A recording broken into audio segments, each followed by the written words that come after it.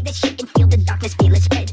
This is what it's like to be known as dead. Now open up your eyes, you see the world that is red. Now what's the word, Captain?